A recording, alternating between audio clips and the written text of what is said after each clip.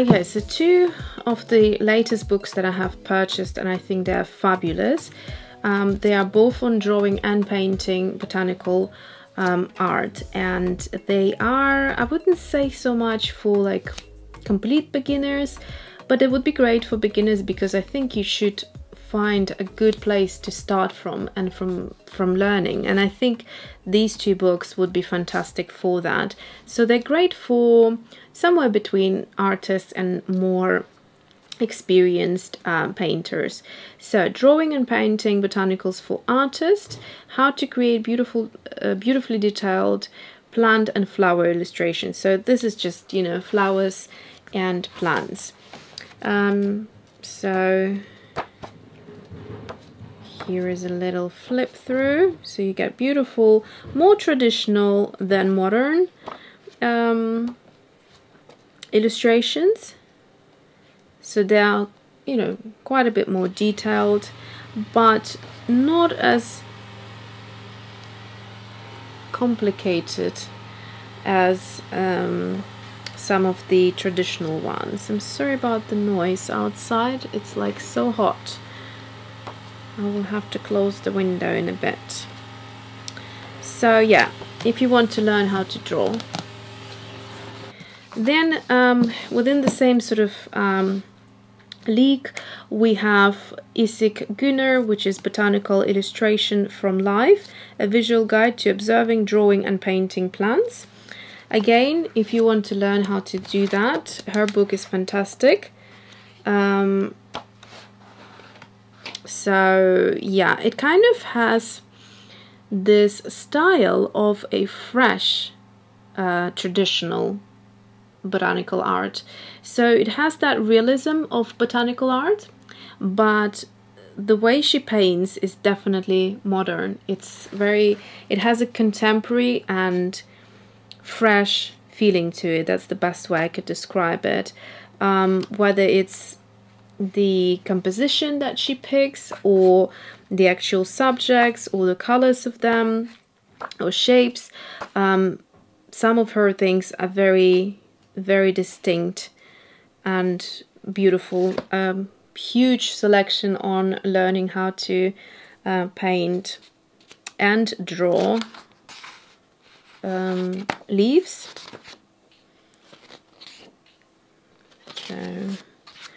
Also loads of information on mixing colors, so as you can see. Um, loads of reading, which means that you're going to learn a lot from this book and yeah great book to have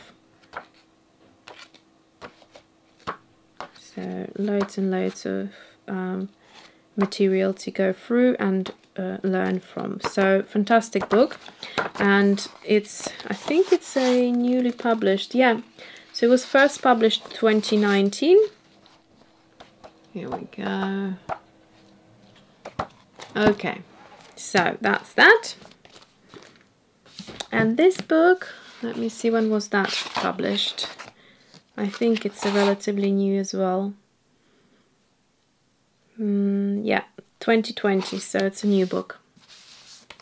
Okay, so now let's dive into something that's quite up there. It's uh, very much feels unachievable to me, but I love looking at it because I think it's just so stunning. And those books are uh, so this is Rosie Sanders and it's a book dedicated to roses. So if you love roses, this is just going to look at roses and it's beautiful. I mean, I'm going to show you. This is the overview of all her stunning illustrations and the style is mesmerizing. She draws very huge, uh, like on a big scale, very big flowers and um, yeah there's also by the way always a little sketch here and there which is quite loosely based and I think they are great to be inspired by. So if you don't want to do something like that then look there's always a bit of illustration here which is also very pretty and, and loose. So why not being inspired by these as well as the main illustrations and some of them here as well. Sorry, this book is very huge, um, so it's hard to get it in place, in, um, in frame. Another Rosie Sanderson look, or Sanders, is flowers. So this is more kind of a broader spectrum of flowers, not just the roses. Um, so as you saw the first, this is going to be as stunning, but just have all the other books. So I think it's a collector's item, both of those books, just uh, stunning. What else can be said about that? Even just to look at them, you know, when you need some Sometimes it's hard to create and you try and try and just doesn't work. This is perfect. Make yourself a cup of tea or coffee, whatever you prefer. Sit down with a nice bit of a blanket if it's not 34 degrees outside and just enjoy looking at this. And the color palette, the, the shapes of the leaves, something will inspire you and inevitably you will want to start creating. So beautiful. Right. Now, let's move on to the final um, group of books and these are great for inspiration. So these are all going to be pictures and um, this is a little one, so it's great to have somewhere on the desk. It doesn't take up too much space, but it's quite heavy, so I wouldn't really recommend take it on the go. But um, Flower Color Guide by Darroch and Michael Putnam. And what a neat little book. I mean, I have used this book so many times.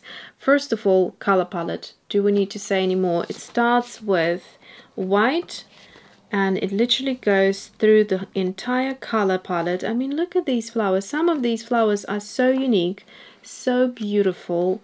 Um, you know, you can use this for inspiration, totally. And it just goes into, look at these roses. They just look unreal. They're so stunning.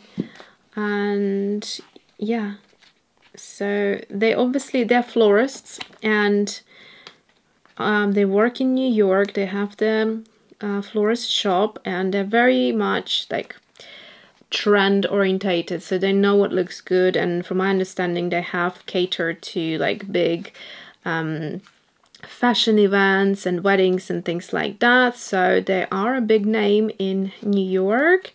And yeah, they've done really well because you can see how stunning everything is. So it starts from white, goes to dark, almost black, and you go through everything pretty much in here. Okay, now this is a big boy, super heavy, and it's called Flora Inside the Secret World of Plants. Oh my gosh, this book is stunning. It's by Kew, Royal Botanical Gardens, and so you know that you're going to be in for a treat.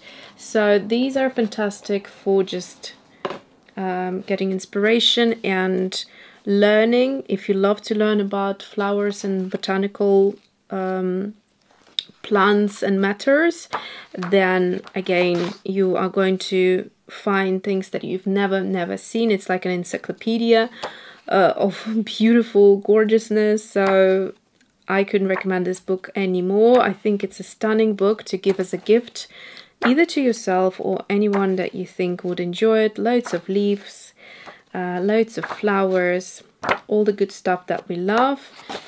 And look at that. Is that fruit or something? Yes, yeah, so it just explains to you how things work in, in the, you know, nature and the natural habitat of things. Yeah, this is the um, mistletoe. It's quite interesting how the seed basically, when birds um, eat the berries, the seed sticks to their nose, then they kind of fly away from the tree, go to another tree, shake their head, and that seed, wherever it's going to um, kind of fall onto a branch, it's going to stick um, to that branch and then it sort of gives roots inside the branch and it's like a parasite that will start growing into this big ball of mistletoe and that's how things work. I had no idea. All I know is that one day I noticed, like when we moved to the countryside, um, I've noticed these trees, like in the winter when the trees are bare, but you could see these big balls, and I was thinking, what is this? And then I started reading up on it, and it ended up being mistletoe. So, how interesting is that? So, this sort of thing you can learn loads about. And then the final book oh, feels even heavier. This is called Plant. Uh, it is by the publisher Phaidon, which is the same as the little flower book that I just showed you before the big one. And who is it by? Exploring the Botanical World. I can't see any names on here. Yeah, it doesn't say a single name, so I don't know. It was published in 2016 and it is a New York based publisher. So we're going to have some stunning work here. So this is a collection of botanical artists. And um, it's got it starts from the early days. So you can see those. And then I'm trying to think. How is this organized? Time or name I don't remember now. Does it say timeline? Okay, so there's a timeline, then plant, taxonomy and glossary, works of art. Doesn't really explain, but the point is, it is stunning. It's got every possible botanical artist in existence, and it goes from photo photography to uh, paintings, and I think some digital art, a few pieces as well and this looks like a rug um, so if you wanted to learn about all possible artists out there this is a great book. It took me a couple of evenings to flip through the whole thing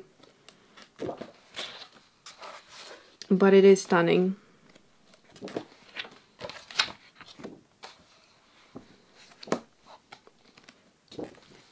Again, a great way to get inspired. Look at that, someone spent so much time and effort to create these pieces. It's incredible. And then there's a beautiful photograph of a rose, which is just like an x-ray. And then some of these beautiful things. Yeah, So that's it. If you are interested in botanical art in general, I would recommend um, authors like Billy Showell, Anna Mason, and Julia Trickey.